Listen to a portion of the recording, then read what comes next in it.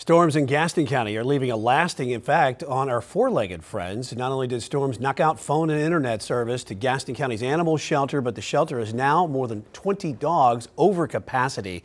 And this is due to people bringing in dogs following the storms.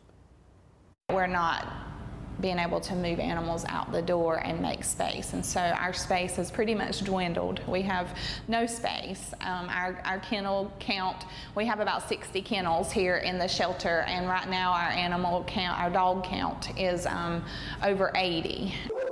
Anyone who is able to foster or adopt is urged to go to the shelter.